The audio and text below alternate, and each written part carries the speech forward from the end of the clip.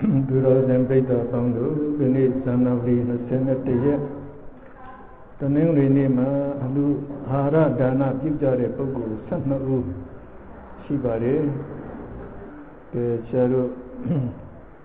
သင်္နန်းစာဥပ္ပနနဲ့ဆက်လိုက်ကြရအောင်။နော်။သံမျက်နှာ68ဒုတိယပိုက်ပရိသန်ဤစိတ်ဥပက္ခဏမှာဖြစ်တဲ့ကမ္မစရုပ်အပေါင်းကို ဧကဇကာယလို့ခေါ်တယ်အကြောင်းတစ်ပါးကြောင့်ဖြစ်တဲ့ယုတ်နော်အဲတော့ကံအကြောင်းတစ်ပါးကြောင့်ပဲဖြစ်တယ်ပရိသန္တိစိတ်ထီခဏမှာဖြစ်တဲ့ဥဒုဇယုတ်အပေါင်းနှင့်တကွာဒွိဇကာယုတ်ကာယဖြစ်လာပါတယ်တဲ့အဲတော့အကြောင်းနှစ်ပါးကြောင့်ဖြစ်တဲ့ယုတ်ဒွိယင်ဒွိဇကာယနော်ကာယအားပထမဘဝင်စိတ်စေတသိက်အပေါင်းက ပစ္ဆာဇာတတတ္တိဖြစ်ကျေစုပြုကထောက်ပပါတယ်တဲ့တိတခိုင်မြဲအောင်စိတ်ကထောက်ပပေးရပါတယ်အဲ့တော့ဒီနေရာမှာလည်းပဲဧကဇယုတ်ဒုဒွိဇယုတ်တွေကသူတို့အရင်ဖြစ်နေတာနော်ပထမဘဝင်စိတ်မဖြစ်ခင်မှာသူတို့ဖြစ်ထားတာဒါကြောင့်သူတို့ကိုအဲ့ဒီဘဝင်စိတ်က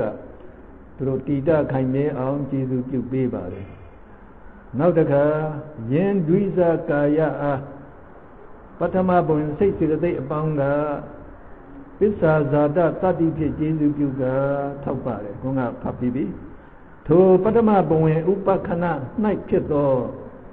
ဥဒုဇယုတ်နှင့်တကွာတိဇကာယဖြစ်လာတယ်အဲ့ဒါခုနစိတ်တဇယုတ်နော်ပေါ်လာတဲ့အခါဒီပထမဘဝင်စိတ်ဥပတဲ့ချိန်မှာပဲတိဇဒီဥဒုဇယုတ်စိတ်တဇယုတ်ကဖြစ်လာကြပြီ အဲ့တော့ယုတ်ဒီဖြစ်စေတဲ့အကြောင်းက၃မျိုးဖြစ်လာပြီပေါ့လေနော်အဲ့တော့ပစ္စတိဇကာယဖြစ်လာ၏ထိုတိဇကာယအားဒုတိယဘဝင်စိတ်အဲ့တော့တိဇကာယကသူကပထမဘဝင်စိတ်နဲ့ပြိုင်ဥဖြစ်တာဒါအဲ့ဒါကိုဒုတိယဘဝင်စိတ်စေတသိက်အပေါင်းကပစ္ဆာဇာတတတ္တိနဲ့ကျေစုပြုပြီးတော့ထောက်ပပေးပါတယ်ကာမဘုံမှာတဲ့နော်သူရှားတို့ကာမဘုံကအစာဟာရစားရတာ ရှားတို့ကနတ်ပြည်မှာကသူတို့ရှားတို့စားတဲ့ဟာရမျိုးမဟုတ်ဘူးနော်သူတို့ကကံတတ်တိနဲ့အဲ့ဒါဖြစ်လာတဲ့အဲ့ဒီအစားအစာတွေကိုသူတို့ကအဲ့တော့အနခံပြီးတော့စားတဲ့သဘောမျိုးပဲထင်တယ်အဲ့တော့အာဟာရရုပ်ဖြစ်ပေါ်လာသည့်အခါအဲ့တော့နေုံခံဒုတိယဘဝင်စိတ်ကာမဘုံ၌တဲ့အာဟာရရုပ်ဖြစ်လာသည့်အခါစတုဇကာယအားအဲ့တော့နော်စတုဇဆိုအကြောင်း၄ပါးကြောင့် ဖြစ်လာတဲ့ရုပ်တွေအဲ့ဒီရုပ်ဇကအားနောက်နောက်ဖြစ်တဲ့စိတ်စေတသိက်အပေါင်းကပစ္စာဇာတနဲ့ပဲကျေစုပြုပြီးတော့ထောက်ပံ့ပေးပါတယ်ဒါကတော့နည်းနည်းအသေးစိတ်ရှင်းပြတဲ့သဘောပေါ့အဲ့တော့ရှားတို့သိဖို့ကအပေါ်ပိုင်းလောက်စောစောကရှားပြောတဲ့လောက်ပဲဒီလောက်သိတော်ပါပြီနော်ရှားတို့ကဒါကြောင့်အဲ့ဒီဟတ္တယဝတ္ထုတစ်မျိုးတည်းမဟုတ်ဘူးရုပ်အားလုံးကိုနော်ဒီစိတ်တွေကနေထောက်ပပေးရတာပဲသူတို့ရဲ့ဖြစ်ပြီးတော့တည်ကြဖို့အတွက်က စိတ်တွေကထောက်ပပေးရပါတယ်အဲ့တော့ဆရာတို့နော်ဒါပြီးတော့ပြန်ပြီဒီလောက်ဆိုရင်ရပြီနော်အာသီဝနပစ္စည်းအကြောင်းဆက်လိုက်ကြရအောင်စာပေကျမ်းဂန်သင်ကြားရမှာတဲ့ရှေးရှေးဖြစ်တဲ့သင်ယူခြင်းကြားနာခြင်းဆောင်ခြင်းဆောင်ခြင်းဆိုတာကအလွတ်ချက်ပြီးတော့မှတ်ထားတော့ပဲဆောင်တယ်လို့ခေါ်လိုက်တာပဲဆောင်ခြင်းစသည် အာထုမိဝဲခြင်းသည်နောက်နောက်သင်ယူခြင်းကြားနာခြင်းဆောင်ခြင်းတို့ကိုလွယ်ကူစေအထုံရစေထက်သန်အားရှိစေတကဲ့သို့ထို့တူအခြားမဲ့ဖြစ်ကုန်သောပထမဇောထိုသောကျင်သည်တဲ့ထို့တူအခြားမဲ့ဖြစ်ကုန်သောပထမဇောထိုဇောကျင်သည်နောက်နောက်ဇောစိတ်နော်52ပါး အဲ့တော့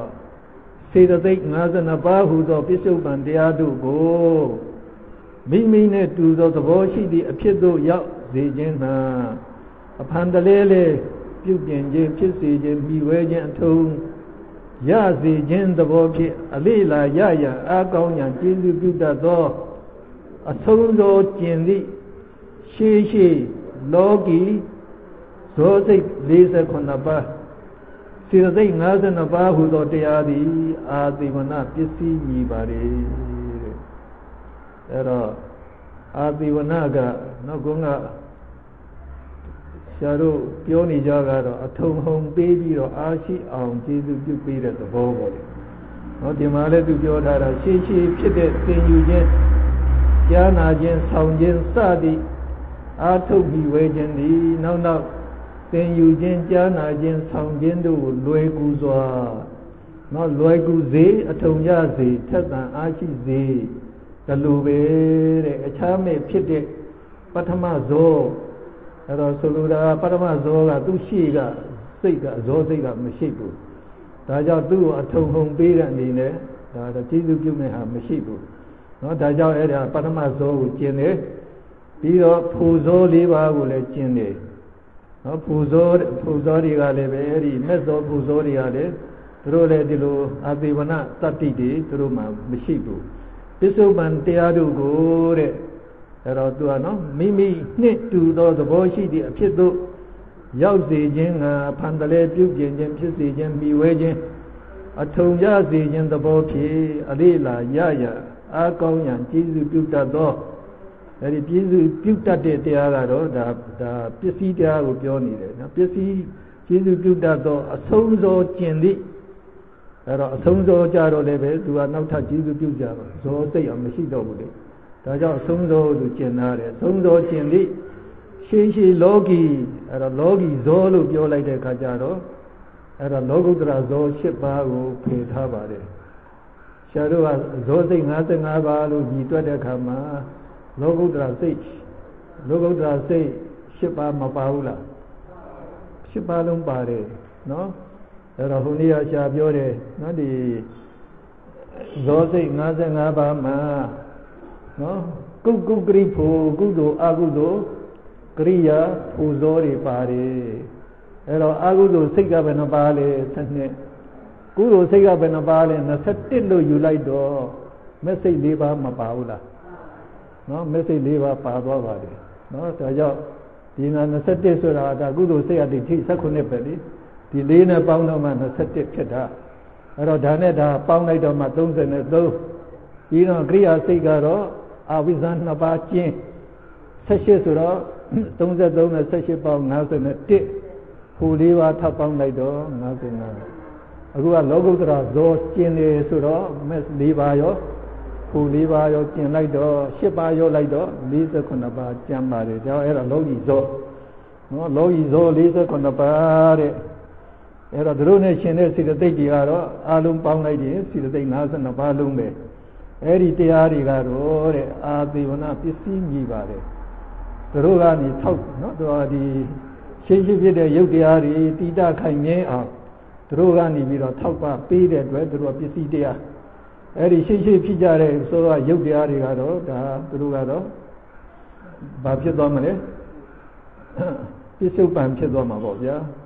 အဲ့တော့ရှားတို့နည်းနည်းဖတ်ကြည့်လိုက်အောင်အာသေဝနာပစ္စည်းသည်တဲ့ကုသိုလ်ဇောအကုသိုလ်ကရိယာဇောတို့၏အစွမ်းအားဖြင့်သုံးပါအပြားရှိတယ်မြတ်စွာဘုရားဟောတော်မူသည်ကရှေးရှေးဖြစ်ကုန်သောလောကီကုသိုလ်ဇော စိတ်စေတသိက်နော်အဲ့တော့နံခန္ဓာ၄ပါးပေါ့ဗျာဇောစိတ်စေတသိက်တရားတို့အာတရားတို့သည်နောက်နောက်၌ဖြစ်ကုန်သောလောကီကိုအကုသိုလ်သောစိတ်စေတသိက်နံခန္ဓာတရားတို့အားအာသေဝနာပစ္စယတတ္တိနဲ့ကျေစုပြုတယ်အဲ့ဒါကတော့ဆရာတို့ပဋ္ဌာန်းမှာနော်ဒါဒါအဲ့ဒါကိုဒါရွတ်ရပါတယ်ဆရာတို့စာမျက်နှာ နော်အခုကြတော့ဆရာတို့ဘယ်ရောက်သွားပြီလဲအာသေဝနနော်အာသေဝနကဘယ်မှာရှိတော့နံပါတ်30ကပူရိဇာတအဲ့တော့ပြီးရင်ဆရာတို့ကနောက်တစ်ဖက်လှန်ရသေးတယ်နော်နောက်ကျောကိုလှန်လိုက်တော့ပစ္ဆာဇာတအာသေဝနအာသေဝနမှာ၃ချက်ပဲဆိုပါတယ်နော်အဲ့ဒီမှာခုနကဆရာတို့ပြောသွားတဲ့အဓိပ္ပာယ်က အခုအဲ့ဒီပထမအဆိုကိုယူထားပါတယ်အဲ့တော့ရှာတို့ဆိုကြည့်မယ်အာတိဝနပစ္စယောတိပုရိမပုရိမကုသလဓမ္မာပစ္စည်းမနံပစ္စည်းမနံကုသလနံဓမ္မနံအာသီဝနာပစ္စေနာပစ္စယောပုရိမာပုရိမာရှိရှိဖြစ်ကြသော ကုသလဓမ္မကုသိုလ်တရားတို့သည်ပစ္စည်းမာနံပစ္စည်းမာနံနောက်နောက်ဖြစ်ကြသော ကုသိုလ်တရားတို့အားအာသေဝနပစ္စယတတိနဲ့ကျေစုပြုပါတယ်အဲ့ဒါပြီးတော့အကုသိုလ်တရားဒါပြောပြောင်းလိုက်ရုံပဲကုသိုလ်ကိုအကုသိုလ်ပြောင်းလိုက်တယ်အဲ့တော့သင်္နန်းကင်နဲ့ရှားတို့ကြည့်သွားလိုက်နော်အဲ့တော့ပုရိမာပုရိမာအကုသလဓမ္မသင်္နန်းကင်မှာဗာပြီးတာလေရှိရှိဖြစ်ကုန်တော့အကုသိုလ်သောစိတ်စေတသိက်နံခန္ဓာတရားတို့သည် ဆိုပြီးတော့ဒါပစ္စည်းတရားပဲနော်ပြီးတော့ရှားတို့ဟိုပါဠိမှာဘယ်လိုဆက်ပြောထားလဲပစ္စည်းမနံပစ္စည်းမနံအကုသလနံဓမ္မနံအာသီဝနာပစ္စည်းနာပစ္စယောအဲ့တော့ဟိုအပေါ်ကအတိုင်းပေါ့ဗျာအပေါ်ကအပိုက်နော်တင်တန်းကိုင်းမှာဟိုမှာရှိရှိဖြစ်ကုန်သောလောကီကုသိုလ်စိတ်စိတ်စိတ်တို့စိတ်စိတ်နံခန္ဓာတရားတို့သည်ဒါပစ္စည်းတရား နောက်နောက်ဖြစ်ကုန်သောလောကီဇောစိတ်စိတ်စိတ်နံနံခန္ဓာတရားတို့အားအာဒီမနာပစ္စသတိနဲ့ပြုတယ်ဒီတိုင်းပဲနောက်တစ်ပိုင်းကရှိရှိဖြစ်ကုန်သောကုသိုလ်စာအကုသိုလ်လေးပြောင်းလိုက်ရုံနဲ့ပေါ်ကဟာအကုသိုလ်ဇောစိတ်စိတ်စိတ်နံခန္ဓာတရားတို့သည်နောက်နောက်တိုင်းဖြစ်ကြကုန်သောလောကီအာကုသိုလ်ဇောစိတ်စေသိနံခန္ဓာတရားတို့အားအာသေယနာပစ္စသတိနဲ့ကြည့်ပြုတယ်နောက်တစ်ပိုက်ကြတော့အဲ့ဒီအဗျာကတကိုပြောင်းလိုက်တယ် နော်ကရိယာအဗျာကတဓမ္မလို့သူပြောထားတယ်အဲ့တော့ကရိယာရောဝိပက်ရောကအဗျာကတတရားတွေသူကတော့ကရိယာစိတ်လောက်ပဲယူခိုင်းပါတယ်နော်ဒါကြောင့်ဒီဝိပက်စိတ်ကဇောအနေနဲ့မဖြစ်ပဲကိုဗျကရိယာကုသိုလ်အကုသိုလ်ကရိယာစိတ်တွေပဲဇောအနေနဲ့ဖြစ်တယ်ဒီဇောစိတ်တွေပဲအခုပြောတဲ့အာသေဝနာတတ္တိကနော်ဖြစ်ပေါ်တဲ့သဘောဖြစ်ပါတယ်ကဲအဲ့တော့ဆရာတို့နောက်တစ်ပိုက်ဆိုကြည့်လိုက်ရင် ပုရိမာပုရိမာကရိယာဗျာကတဓမ္မာသင်္နန်းကိုင်မှာရှေးရှေးဖြစ်ကုန်သောကရိယာဇောအဲ့ဒါကရိယာဇောစီတသိက်ပြောတာပဲနော်ဒီစိတ်စီတသိက်နာခန္ဓာတရားတို့သည်ပစ္စည်းမနံပစ္စည်းမနံကရိယာဗျာကတနံဓမ္မနံနောက်နောက်၌ဖြစ်ကုန်သောကရိယာဇောစိတ်စီတသိက်နာခန္ဓာတရားတို့အား အာသီဝနာပစ္စေနာပစ္စယောအာသီဝနာပစ္စည်းတတိဖြစ်ကျေစုပြုပါတယ်အဲ့တော့ဒီမှာဆိုတဲ့အတိုင်းဆိုရင်တော့နော်ဆရာတို့ဒီလိုအထုံဟုံပေးပြီးတော့ကျေစုပြုတဲ့တရားကဇောစိတ်မှာပဲဖြစ်ပါတယ်နော်ဒါကြောင့်ဆရာတို့ဒီဇောစိတ်ပဲအဲ့ဒီဇောအနေနဲ့စောနိုင်တာကုသိုလ်ဇောအကုသိုလ်ဇောကရိယာဇောနော်ခုကကုတ်ကုတ်ကရိဖို့လို့ပြောတဲ့အတိုင်းကရိယာဇောရဲ့ဖူဇောရဲ့ပေါ့ဗျာ နော်အဲ့တော့အဲ့တော့ဖူဇောအလောကုတ္တရာဇောမယူဘူးဆိုတော့ဆရာတို့ကဒီကုသိုလ်တရားအကုသိုလ်တရားရှိရှိကုသိုလ်တရားရှိရှိအကုသိုလ်တရားနော်ကရိယာဗျာကတတရားတွေဟာနောက်နောက်ကုသိုလ်ကကုသိုလ်ကျေစုပြုတာပဲအကုသိုလ်အကုသိုလ်ကျေစုပြုတယ်ကရိယာကရိယာကျေစုပြုသွားတယ်ဒါကြောင့်ဆရာတို့ဒီမှာရေးထားတာကနော်ဒီမှာကအဲ့တော့ဒီကနေပထမဇောကအနိတ်ဆုံးလုပ်ထားပြီးတော့ဒီမှာတပြေးပြေးမိပြီးတော့သူတို့ပြန်ကြသွားတယ်အဲ့ဒါကမူတစ်ခုပေါ့လေ အဲ့တော့ရှေ့မူပေါ့လေနော်ရှေ့မူကသူတို့ကမှန်သူတို့ပြောတာကအဲ့တော့တောင်ပေါ်မှာပြေးသွားတဲ့လူအဲ့တော့တောင်နော်ကပန်းရောက်တဲ့အခါအဲ့ဒီကြောက်ကြီးဖြစ်နေတဲ့အခါကျရင်အဲ့တော့ကြောက်ကြီးလို့မြင်အချိန်ချော့ရတယ်အဲ့တော့ဒါပြီးရင်လည်းပဲသူတို့ကနော်ဒီပုံရင်ကြရမယ်ဆိုတာအချိန်ချသွားတယ်အဲ့တော့ဆရာတို့ပေးလိုက်တဲ့နော်အဲ့ဒီအဘိဓမ္မာရဲ့နောက်မှာဆရာတို့တွဲတွဲပြီးထားပါတယ်ဒီတရားတွေအဲ့ဒီမှာကြတော့ဆရာတို့ကဒီလိုတခါတည်းတက်သွားတာ နော်ဒီတရမဇောအမြင့်ဆုံးတယ်အဲ့ဒါကပူမှန်တယ်ဘာဖြစ်လို့လဲရှေ့ဇောကသူကဒီဒုတိယဇောကိုသူအာတိမနာတတိနဲ့ထောက်ပပေးလိုက်တယ်အာပူရှိလာတယ်ပေါ့ဗျာသူကတခါအာထုတ်ပြီးတော့သူကတော့ပူတတ်တရားရှိလိုက်အဲ့တော့ဒီလိုလဲအာထုတ်လိုက်တော့ပရမဇောဒီအမြင့်ဆုံးဇောဖြစ်သွားပါတယ်နော်ပရမဇောကအာနေတယ်အဲ့တော့ကံကြီးအကျိုးပေးတဲ့အခါပြောတဲ့အခါကျတော့အဲ့ဒီမှာ ပရမဇောနဲ့ရှင်တဲ့စေရနာကံဟာတဲ့အားနေတဲ့အတွက်ဒီဘဝပဲကျိုးပေးနိုင်တယ်နော်ဒီဘဝလက်ရှိဘဝမှာကျိုးပေးရင်ပေးမပေးရင်ဟောတိကံနောက်တာမပေးနိုင်တော့အားနေလို့အဲ့ဒီတရမဇောစေရနာကဒုတိယဘဝမှာအကျိုးပေးတယ်အဲ့တော့ဆရာတို့ကနော်ဂရုကကံနဲ့သွားတူတာပေါ့အဲ့တော့အဲ့ဒီကံလေးမျိုးဂရိဂရုကကံပြောတာဂရုကကံအားကြီးတဲ့ကံရှိရင် ဒီဒီဘဝသိရင်ဒီကံကအကျိုးပေးတော့တာပဲအဲ့ဒီသဘောပဲသတ္တမဇောစေတနာကဒုတိယဘဝမှာအကျိုးပေးတယ်ကြံတဲ့အလေငါးဇောနော်အလေငါးဇောကအဲ့တော့အလေငါးဇောကြတဲ့ခါကျတော့အဲ့ဒါနော်တတ္တယဘဝကနေပြီးတော့နောက်ဆုံးသေးတဲ့အထိအဲ့ဒါအမြဲလိုက်ပါနေတာနောက်ဆုံးသေးတဲ့အထိအဲ့ဒါအခွင့်ရတဲ့ဘဝတိုင်းမှာအကျိုးပေးသွားတယ်နော်နောက်ဆုံးမှကြတော့ပြိုင်မလို့ဥပဥတရားအကျိုးပေးတော့တာပဲ ဒါကြောင့်ဆရာတို့ကနောက်ဒီယဟန္တာဖြစ်မဲ့နောက်ဆုံးဘဝဆိုရင်ကုသိုလ်ကိုလှုပ်ထားတဲ့ကုသိုလ်ကံတွေရောအကုသိုလ်ကံတွေရောပြိုင်အကျိုးကျိုးပေးတာနော်ဒါဒုက္ခသောဘုရားကလည်းဝိပက်တော်12ပါးမရှိဘူးလားနော်ခါကြိုက်တယ်နော်အဲ့တော့သူကသူကတဘောမှာနဘာနဘာဖြစ်တာတော့သူ့ထက်အားကြီးတဲ့လူနဲ့တခါတည်းသူကဖွတ်ကြတာတခုတစ်ချက်သူကရှုံးသွားတာအဲ့တော့ तू ကကျွန်းကျင်တဲ့ခါကျတော့နောက်တစ်ချက်ဒီငါခါချိုးမယ်ဆိုတော့အဲ့ဒါ ခါချိုးပြစ်ခဲ့တော့အဲ့ဒါနောက်ဆုံးဘဝကဘုရားဘာဝနဲ့နော်အဲ့ဒါခါနာတယ်အဲ့တော့ပြန်ဝင်ခံနေကြတော့မမလျှော့ဘူးလားအဲ့ဒါလည်းပဲနော်သူရဲ့အဲ့ဒီဘဝတစ်ခုမှာသူကဘိန်းတော်ဆရာအင်နန်တော်တဲ့ဘိန်းတော်ဆရာအဲ့တော့အင်နန်ချမ်းသာတဲ့အမျိုးအမျိုးသားကလည်းသူကတထေးပေါ့လေသူကခေါင်းကိုက်ယောဂဖြစ်တာဘလို့မှကုလို့မနိုင်တော့အင်မနာနဲ့ခေါင်းကိုက်တော့မနေနိုင်မအိတ်နိုင်တဲ့ခါကျကဲငါခေါင်းကိုက်ပြောက်အောင်ကုနိုင်ရင်ငွေသိန်းပေးမယ် အဲ့တော့သူလာတယ်တကယ်ပေးမလားတဲ့ပေးမှာမေးဆိုအဲ့ရောဟောဒီစီးတဲ့တောက်အဲ့တော့ဒီစီးတဲ့တောက်တစ်ဖက်တောက်တယ်နဲ့ပျောက်သွားမှာပါဆိုတဲ့ခါကျတော့အဲ့ဒီစီးကိုဒီညနေပဲတောက်ခိုင်းတာကနောက်နေ့ကျတော့အဲ့ဒါသူလာတာနော်လာတာငွေသိန်းလာတောင်းတဲ့သဘောပါပဲနော်လာတဲ့ခါကျတော့တထေးကဒီစိတ်တစ်ခွက်တောက်ယုံတဲ့ယောဂပျောက်သွားတယ်သသိန်းပေးရမှာဆိုတာအဲ့ဒါသူတို့တူသွားတယ်မပေးချင်ဘူးမပေးချင်တဲ့ခါကျတော့ အဲ့တော့တထေးကြီးအလုံးနေကောင်းသွားပြီမဟုတ်လားခေါင်းကိုက်တာပျောက်သွားပြီလားတဲ့တော်တော်တော့ကောင်းတယ်နည်းနည်းတော့ကြံသေးတယ်သူလိမ်ပြောလိုက်တယ်ပေါ့လေကြာနည်းနည်းတော့ကြံသေးတယ်ကိုက်တယ်သေးတယ်ပေါ့လေအဲ့တော့သူရိတ်မိသွားတယ်ဘိန်းတော်ဆရာအဒီလူမပေးချင်လို့ပဲသူရဲ့ဂတိဖြတ်တယ်ပေါ့ကဲအဲ့လိုဆိုရင်တော့နောက်ဒီခွက်စီတစ်ခွက်ထပ်တော့လိုက်ပါဒါဆိုရင်တော့အဲ့ဒီနည်းနည်းလေးကောင်းတော့မှာပါအဲ့ဒါဝန်းလျှောတဲ့စိတ်အဲ့တော့အကြီးရဲ့ဝန်းလျှောပြီးတော့ ဒီတထေးကြီးကအဲ့တော့ကွယ်လွန်လားမကွယ်လွန်လားတော့မပါဘူးပေါ့လေအဲ့တော့ကွယ်လွန်တဲ့အထိဖြစ်သလားတော့မသိပါလေသူဆိုနောက်ဆုံးမှတော့သူကအဲ့ဒီနော်သူနောက်ဆုံးဆွမ်းဖုံးပြီးဝိပ္ပယဝက်ပြူသာဆွမ်းလို့တူပြောတာနော်အဲ့ဒါဖုံးပြီးပြီးတော့တခါတည်းဝန်းလျှောတော့တာပဲဝန်းလျှောလျှောကြီးနဲ့ကိုအဲ့ဒါသူကကုသနာယုံရောက်တဲ့အထိကိုတခါတည်းချိန်ရင်သွားတာ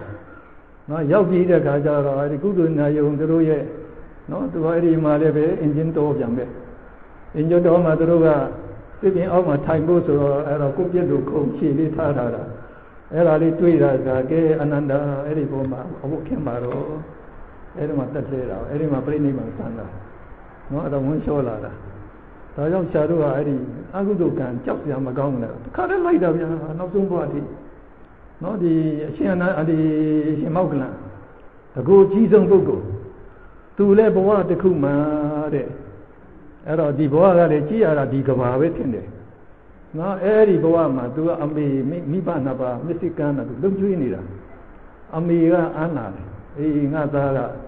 နေပဲဆိုရင်တိုးထဲမှာသွားလို့နော်ပိဿံတွေရအောင်ပေါ့လေအဲ့တော့သူတို့ကဟင်းနေရွက်ဒီခူးတာဘာလားလုံလည်းမသိဘူးပေါ့လေအဲ့တော့ပြန်လာလည်းအမေဖေကိုလှုပ်ကြွေးတဲ့ခါကျတော့အမေကတော့သားကိုတနာဟဲ့ငါသားမင်းမင်းမယူလိုက် အမေမယူပါဘူးတဲ့အဲ့ဒါအမေဖေတို့မရှိတော့မှပဲယူမယ်တဲ့အဲ့တော့အမေကမနေဘူးအဲ့ဒါခင်တဲ့အဲ့ဒါဆွေမျိုးတယောက်ရဲ့အမျိုးသမီးကိုအဲ့ဒါအတင်းပေးစားလိုက်တော့မိမရသွားအဲ့ဒီအမျိုးသမီးကလည်းခုနှစ်ရက်ပဲကြည်တယ်တဲ့ယောက်ကမယောက်ကတိတွေအပေါ့လေးကနေစအကုန်သိမ်းရတဲ့သဘောမျိုးဆိုတော့သူမကြည်တော့ဘူးမကြည်တဲ့အခါကျတော့သူ့ရဲ့ခင်မွန်းသူပြောတယ်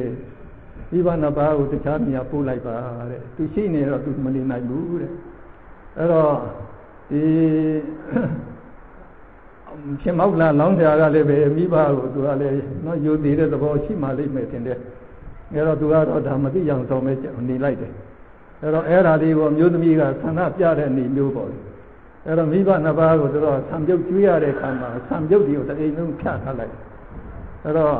မရှင်မောက္ကလံအဲဒီအလောင်းပြပြန်လာတယ်ဟဲ့ဘယ်သူတွေဖြတ်ထားတာလဲဘယ်သူရမှလဲရှိရမိဘတွေပေါ့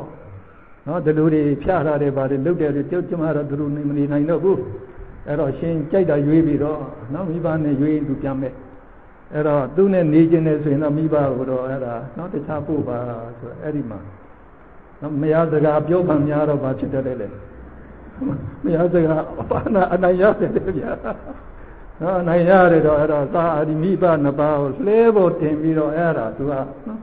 အဲ့တော့မောင်းထွက်သွားတာဘာပြောလဲဆိုရင်ဟာနောက်ပြောမှဆွေမျိုးတွေအိမ်သွားမယ်ဆိုအဲ့ဒါသွားတာမှန်ပြင်အဲ့ဒီမှာတိုးလန်းဖြတ်ရတယ်တောလမ်းဖြတ်တဲ့အခါကျတောတဲ့ရောက်တဲ့အခါကျတော့တကယ်အဲ့ဒီဒီလူဆိုးတွေဝိုင်းလာပြီးတော့နော်ဒီလာပြီးတော့သူတို့ကိုအနေပြုတ်တဲ့အနေမျိုးနဲ့သူအော်တာသူကတိုင်းအော်တာအော်ပြီးတော့အဲ့ဒါအမေဖေကိုလည်းဒုံနဲ့ရိုက်တော့တယ်ဗျာအမေဖေကတကယ်ပဲအဲ့ဒီလူဆိုးတွေရိုက်နေတယ်ထင်တော့ဟဲ့ငါသားရဲ့ နော်အမေဖေတို့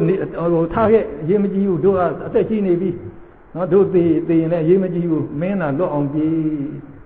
အဲ့ဒါသာသားကိုဘယ်လောက်ချစ်လဲပေါ့ဗျာသူ့ကအန္တရာယ်မရှိစေခြင်းဘူးအဲ့ဒါလည်းသိတဲ့ထိရိုက်တယ်ဗျာသိတဲ့ထိရိုက်ပြီးတော့မှအဲ့ဒါခြုံမောပြစ်တင်ပြီးတော့ပြန်လာတယ်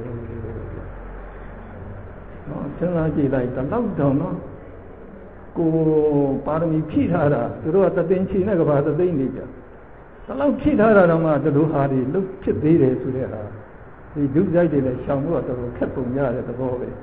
အဲ့တော့ကိုယ်ဇနီးကိုသိချစ်သွားတဲ့ကောင်နဲ့တစ်ဖက်ကလည်းသူ့ကိုသိချစ်အောင်သူကလှုပ်တာခုလှုပ်ပြီးမှတင်ခိုင်းတဲ့ကောင်တော့မိမဇနီးစကားနိုင်ရသွားတော့ကိုကတတ်ဖြစ်သွားတယ်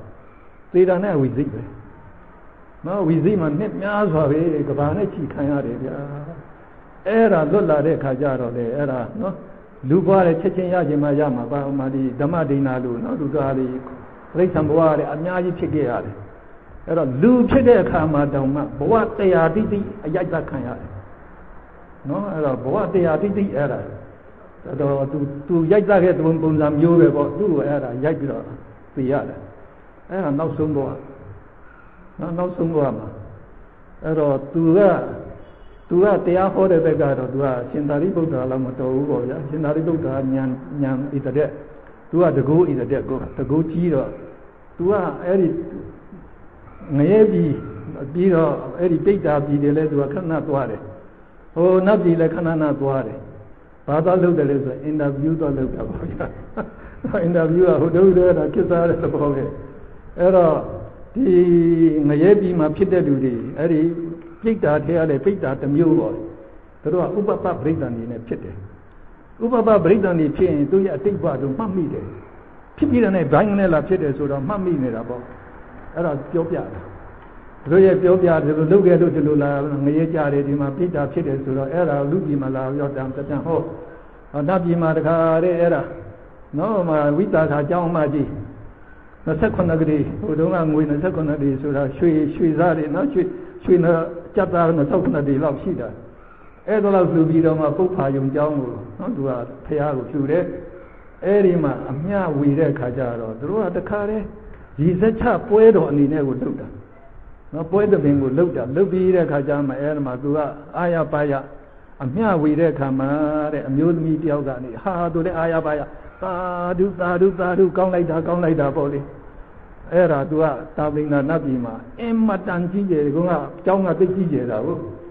အဲ့ဒါကိုတာဓုခေါ်တဲ့အတွက်ကြောင့်သူလည်းအင်မတန်ကြီးကျယ်တဲ့ဗိမာန်ကြီးခါရဲတော့ဗိမာန်ရှင်တော့ဖြစ်တယ်ဗျာရှင်မောင်ပောက်ကလန်တက်သွားတော့တခါမှမမြင်ဘူးအခုမှအစ်စ်ပေါ့လေဟာငါတော့အင်တာဗျူးလုပ်ဆိုတော့သွားတဲ့ကကြတော့အဲ့တော့ထွက်လာတယ်အဲ့ဒါဟဲ့နင်ပါလို့လို့လေဒီလောက်ရတယ်ဆိုတာဟာအဲ့လိုပဲနော်အဲ့တော့ဝိသခာကျောင်းမှအလှအလှ မြဝေတဲ့အခါမှာအဲ့ဒါကျမကဝန်းမြောက်ဝန်းသာသာဓုခေါ်တဲ့အတွက်ရပါတယ်ဆိုတော့ဒါဗုဒ္ဓဘာသာမှာသိကောင်းပါတယ်ဆရာပြောတာပိဿာကုတ်တော့မလို့ဘူးသာဓုခေါ်ရုံနဲ့ဟိုတကယ်တိုက်တာကြီးလည်းရတာပဲဗျာနော်တခါတည်းရနိုင်တယ်အဲ့တော့အဲ့ဒါလောက်တကူကြီးတဲ့နော်ဒီရှင်မမောက်ကလန်အဲ့တော့ဟိုတိတ်ထိဖယားလက်ထက်မှာလေဖယားကိုမကြည်ညိုတဲ့လူတွေရှိတာပဲနော်မကြည်ညိုတဲ့လူတွေရှိတာပဲ အဲ့တော့ဖယားကိုသူတို့ကနော်မတတ်နိုင်ဘူးဆိုတော့သူသိတဲ့ခါကျတော့အဲ့ဒါစီဝေးခေါ်တယ်ခေါင်းဆောင်လုပ်တဲ့လူကသူကပြောတယ်ဟေးအခုမှနော်ဖယားကိုစူတန်းကြတဲ့လူတွေကအင်မတန်များတယ်တို့ကိုတူတဲ့လူကမရှိဘူးခုဖြစ်နေတာအဲ့ဒါဘာကြောင့်လဲခင်ဗျားတို့သိလားဆိုတဲ့ခါကျတော့ကျန်တဲ့လူတွေကတော့မသိဘူးပေါ့အဲ့ဒါမဟာမောက်ကလန်ကြောက်ပဲဗျသူကအဲ့ဒီမှာနော်ဒီအပေပုံနဲ့သွားနတ်ပြည်လဲသွားအင်တာဗျူးလုပ်ပြီးတော့ဒီမှာဒီပြတာပြပြဟောတော့ လူတွေကကံကံအကျိုးသိလာတဲ့အခါဘုရားကိုပို့လှူကြတယ်ပို့ကြည်ညိုကြတယ်တဲ့အဲ့တော့အဲ့ဒီအလှူတွေအားလုံးခင်ဗျားတို့မလို့ကျင်ဘူးလားလူတိုင်းကတော့လောဘသမားဆိုလူကျင်တာပေါ့ဗျာဟာလူကျင်ပါတယ်လူကျင်တယ်ဆိုရင်အဲ့ဒါရှင်မမောက်ကလန်ငါတို့တတ်ရမယ်ကဲခင်ဗျားတို့သဘောတူလားအဲ့တော့သဘောတူရင်ငွေတကြစီပေးအဲ့တော့တကြစီဆိုငွေတစ်ထောင်ဆိုတော့လူတစ်ထောင်ဆိုငွေတစ်ထောင်ရတော့အဲ့ဒါငှားလိုက်တယ် နော်လူစိုးတွေငှားလိုက်တယ်အဲ့ဒါခင်ဗျားတို့အဲ့ဒါရှင်ရှင်မမောက်ကလန်ကသူတိုးတယ်မှာကြောက်ဖြာတကူမှသူ့ကြောင်းဆောက်ထားတာအဲ့ဒီမှာနေတာအကြောင်းတော်ပိုင်းတော့တာပဲနော်ကျောင်းတော်ပိုင်းလိုက်တော့သူအထဲမှာသူကတော့နော်ရှိနေတယ်သူသိတာပေါ့လေအဲ့တော့ဒီလောက်ဝိုင်းနေပြီမဲ့သူကတော့ဇံပင်ញင်နဲ့သူကထက်ထွက်သွားလို့ရနေတာဒီလူတွေကတနေ့ပြီးတနေ့အဲ့ဒါဆက်ပြီးတော့ဝိုင်းတာမသွားဘူးတဲ့အဲ့တော့မှသူပြန်ဆင်ကျင်တယ်ဘာဒါဘာကြောက်တယ်လို့ဖြစ်ရတာလဲ အဲ့ဒီကံဟောင်းကိုပြန်တွေ့လိုက်တယ်အမေဖေကိုတတ်ခဲ့တာနော်အဲ့တော့ဒီကံကိုကျိုးပြီးတာငါရှောင်နိုင်မလားမရှောင်နိုင်ဘူးတဲ့ဗျာနော်အဲ့တော့ဖယားလည်းသိမှာပဲဒါမဲ့ဖယားလည်းမတားပြနိုင်ဘူးနော်အဲ့ဒါကံရဲ့အကျိုးကအဲ့ဒါပဲဘယ်သူမှမတားနိုင်ဘူးအဲ့တော့သူမပြီးပဲနဲ့အဲ့ဒါရိုက်ခံတယ်တဲ့အဲ့တော့ဒီဒီ900ကလည်းသူကတကိုးရှင်နန်းပြီးတဲ့အခါကျအယိုးတွေအကုန်ကြည်တဲ့အထိကိုရိုက်တာ နော်အဲ့တော့သပွဲဖြစ်သွားတဲ့အထိပေါ့ဗျာအဲ့တော့သေပြီးဆိုတဲ့အခါကျတော့မှသူမိဘအလောင်းကိုချောင်းချုံမောပြစ်တယ်လို့ပဲသူတို့ချုံမောပြစ်ပြီးတော့အပြန်လာကြတာနော်ပြန်လာကြတဲ့အခါကျတော့မှအဲ့ဒါသူကတတိပြန်ရတဲ့အခါဇံအပိညင်ဝင်ပြီးတော့ဒီပြတ်နေတဲ့အယိုးတွေအဲ့ဒါပြန်ပြီးတော့အဲ့ဒါဆက်တာနော်ဆက်ပြီးတော့မှအဲ့ဒါသူကကောင်းကင်နေပြန်လာတော့ဖရာကကတော့လေအရှင်ဗျာတတိတော်နော်အဲ့တော့ ကုသိုလ်ကံကုန်ပါပြီဗျာတတိတော်နော်ပြိဋိမံဆံဆံမာတော့မယ်ခွင့်ပြုတော်မူပါဗျာဖရာခွင့်တောင်းပါတယ်အဲ့တော့ဖရာကလည်းအေးငါလည်းမင်းကိုနောက်သိရတော့မှမဟုတ်တော့ဘူးကဲမင်းမသွားခင်ငါ့ကိုတရားဟောတော့ပါဦးဘုရားတူပြောတော့အဲ့ဒါကြတော့သူကဘုရားကိုနော်ကတော့ထွက်လာပြီးအဲ့ဒါသန်းတပင်ပြန်တက်ပြီးတော့ဆင်းလာပြီးတော့ကတော့နောက်တကသန်းတပင်သန်းသုံးပင်လေးပင်ခုနှစ်ပင်ထိ အဲ့ဒါပြီးတော့မှတရားတူတူလေးပေါ့လေဟောပြီးတော့အဲ့ဒါကောင်းကင်ကနေပဲပြန်သွားပြီးတော့သူ့ရဲ့အဲ့ဒီကြောင်းပေါ်မှာပဲသူတို့ကနော်ဒါပြိဋိဘံစံမဲ့ချိန်သိနေတာဟုတ်ဆန်ဆန်လိုက်တာနဲ့အဲ့ဒီမှာတခါတည်းအလုံးနော်သူတို့ကအယိုးချန်တယ်ဆိုရင်အယိုးချန်တယ်အဲ့ဒါနော်သူတို့ကစီဒီတွေဘာတွေတည်လို့ရတဲ့သဘောပေါ့လေအဲ့တော့အရှင်မမောက္ကလန်တလောက်တကူကြီးတာမရဘူးနော်ဒါကြောင့်ဒီကံတွေကဆရာတို့ကတတိထားဖို့မကောင်းဘူးလား နော်ဆရာတို့ပြောသည်များဆိုသည်များလုပ်သည်များအားလုံးဒီအဲ့ဒါတန်ပေးပြမှတ်တမ်းပဲအဲ့ဒါစိတ်မှာအဲ့ဒါတခါတည်းဒါ register ပဲနော် register ပဲအဲ့ဒါသွားတဲ့ဘဝပေါင်းဒီကံကအဲ့ဒါလိုက်တယ်ရှိနေတာပဲဗျာနော်ဒါရောက်ဆရာတို့ကသိကြောက်ဆရာကောင်းပါတယ်သူတို့သိလာတဲ့အခါကျတော့နော်ဒါရောက်ဆရာတို့ကဘုရားပြောတဲ့အတိုင်းပဲငါဘာသိလာတော့ဒီလိုအောင်တော့တောက်ဖို့တော့မကောင်းဘူးလားနော် ဆောက်လိုက်တဲ့အခါကျတော့အကျိုးကြီးစုကလည်းအမှန်ကြီးတယ်လေဗျာငါဘာသိလားဆိုတာဘာမှကုန်တာမဟုတ်ဘူးနော်တခါတည်းဆောက်လိုက်တဲ့နဲ့ကိုယ်စိတ်ကမြင့်မြတ်လာပြီဘယ်သူမှကိုယ်အထိခိုက်နေတာမလုပ်ဘူးဆိုရင်ကိုယ်မှမြင့်မြတ်သွားပြီနော်မြင့်မြတ်သွားတဲ့အပြင်မှာကောအသာဒီဖရာကုံတော်တဲ့ကောနှလုံးသွင်းနေတဲ့အခါကျပို့ပြီးတော့မြင့်မြတ်သွားတာမြင့်မြတ်လာတဲ့အခါကျတော့အဲ့ဒါဘာလို့ရင်လည်းအကုန်ရတယ်လို့ပြောတယ်လေဗျာနော်မှဖောက်ချတော်လို့ဆိုရင်အခုဆိုရင်ရှူကြတဲ့လူတွေအမှန်များ နိုင်ငံသားတွေပူစုနိုင်ပါတယ်ဆရာတို့မြန်မာပြည်ကသိမလို့နိုင်ပါဘူးနော်အဲ့တော့တခါတည်းပိတ်ဆံတွေအများကြီးပြလိုက်တဲ့အတွက်ကြောင့်အဲ့တော့ခုလည်းပဲအဲ့ဒီသူ့ရဲ့ယာယီစံကြောင်းတော်လေဗျာသူကအဲ့ဒီနော်ပြင်ဦးလွင်ပြင်ဦးလွင်မရောက်မီ10မိုင်မှာပေါ့ဗျာအဲ့ဒီမှာသူကျောင်းကနိုင်ငံတော်ဆိုရတဲ့ဒီကတရားနော်မြေလှူပေးလိုက်ပါတယ်အဲ့ဒီမှာကျောင်းလေးဖရာတွေကြီးရတဲ့စောင့်နေတယ်ဗျာ နော်အဲ့ဒါဝန်တာကြာကောင်းပါတယ်ကဲအဲ့ဒါလို့ဆိုရင်တော့နော်ဆရာတို့သဘောပေါက်ပါပြီခုနပြောတဲ့အတိုင်းဒါဆရာတို့ကနော်အာတိမနတတ္တိအဲ့တော့အပေါ်မှာကြံကြည့်လိုက်ရင်ရှိရှိစားပြီးသင်ကြားကျမ်းဂန်သင်ကြားရ၌ရှိရှိဖြစ်သောသင်ယူခြင်းကြားနာခြင်းထောက်ဆောင်ခြင်းစသည်အာထုတ်မိဝဲခြင်းသည်နောက်နောက်သင်ယူခြင်းကြားနာခြင်း ဆောင်ခြင်းတို့ကိုလွယ်ကူစေတယ်အထုံရစေတယ်နော်အဲ့ဒါအထုံရစေတယ်ထက်သန်အားရှိစေတယ်အဲ့ဒါဒါကြာရှားတို့ပြောတာရှိရှိဇော်ဒီအားပေးတဲ့အတွက်ကြောင့်နောက်နောက်ဇော်ဒီဟာအာပူပူကြီးသွားတာနော်အဲ့ဒီသဘောမျိုးအဲ့တော့ဆရာတို့ကနော်ဒီဒီအောက်ဆုံးမှာ၃ဘိုက်မှာသူပေးထားတဲ့အတိုင်းပဲနော်ဆရာတို့ကဒီပဋ္ဌာန်းသိထားရင်တော့ဒါလေးကိုဖြေနိုင်တော့လေဒါ နော်ဒါပြည့်စုံတဲ့သဘောမျိုးပါပြီးတော့ကမ္မပစ္စည်းဆရာတို့ဆက်သွားလိုက်အောင်ကမ္မပစ္စည်းအကြောင်းမှာစိတ်အိပ်ပယောကဗျာပါရဟုဆိုအပ်တော်ပြုမှုအာထုံမှုအိအဖြစ်ဖြစ်အဲ့ဒါနော်ဒီပယောဂနဲ့ဗျာပါရရဲ့အဓိပ္ပာယ်ကိုသူကပြုမှုအာထုံမှုလို့ပေးထားပါတယ်အာထုံမှုဤအဖြစ်ဖြစ်တနည်းပြုလုပ်အာထုံခြင်းအမူအရာသဘောဖြင့်ကျေးဇူးပြုတတ်သော စေတနာ89ခုဘူသည့်တရားသည်ကာမပစ္စည်းဖြစ်ပါတယ်နော်အဲ့တော့ကာမပစ္စည်းသည်နာနဲ့ခဏိကကာမပစ္စည်းနဲ့သဟဇာတကာမပစ္စည်းဟု၍နှစ်ပါးအပြားရှိသည်ရှားတို့အဘိဓမ္မာသင်တုံးကတော့နော်ရှားတို့ကဒီမှာရေးထားတဲ့လောက်ကိုကမသိသေးဘူးမသိသေးတဲ့အခါကျတော့ ရှားတို့ကံဆိုတာစေတနာပဲနော်အဲ့ဒီစေတနာကလည်းစေတနာနဲ့ပြုလုပ်တဲ့အလုတ်ဟုသမျှကိုဒါကံတရားလို့ခေါ်ပါတယ်အဲ့တော့စေတနာရဲ့မူရင်းအတိတ်တွေကစိတ်စောတိုက်တွန်းတဲ့သဘောနော်စိတ်စောတိုက်တွန်းတဲ့သဘောကသူကသူ့နဲ့အတူဖြစ်တဲ့စိတ်စီတသိက်နော်သူကစီတသိက်တစ်လုံးပဲကိုအဲ့ဒီစိတ်စီတသိက်တွေကို သူလှုပ်စေခြင်းနဲ့အလုတ်ကိုဝိုင်းလှုပ်ဖို့ဆိုပြီးတော့သူကစိတ်စောတိုက်တွန်းတယ်ဆရာကလည်းပဲအဲ့ဒီဘဝဗန္ဒီရှင်ကံတရားတို့မှာဆရာစာရေးတာဥပမာနဲ့ပေးတယ်နော်နဖူးမှာခြင်ကြိုက်ရင်ပြုံးနေမလားအဲ့တော့နော်အဲ့တော့စိတ်ဆိုးသွားမလားနာတယ်ဆိုရင်ကျတော့စိတ်ဆိုးတာပဲစိတ်ဆိုးတာနဲ့ဘာဘာဖြစ်လာပြီလဲစိတ်ကဒေါသမှုစိတ်ဖြစ်တာပဲအဲ့ဒီဒေါသကသူကကြမ်းတမ်းခက်ထန်တဲ့ဖြစ်စီတတ်တဲ့သဘောရှိတယ် ဒါကြောင့်ဒေါသစိတ်ဖြစ်လာတာနဲ့အဲ့ဒါ तू ကနော်ဒီငါငါကိုနာကြိုက်တဲ့ဒီချင်းကိုတတ်ပစ်လိုက်ပါ तू ကတတ်ချင်းစေခြင်းလေအဲ့တော့ဒေါသကကြမ်းတမ်းခက်ထန်တော့ तू ကတတ်ဖို့ तू ကအဲ့ဒါနော် तू ကတော့ဒါဆိုဩတာပဲဒါပေမဲ့တဲ့အဲ့ဒီတတ်တဲ့အလုပ်ကိုဖြစ်အောင်တဲ့ဒေါသကမလုပ်နိုင်ပါဘူးတဲ့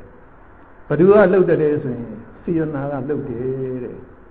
စေရနာကတော့ဆရာတို့ကနော်ဖတ်ဝေသင်စီ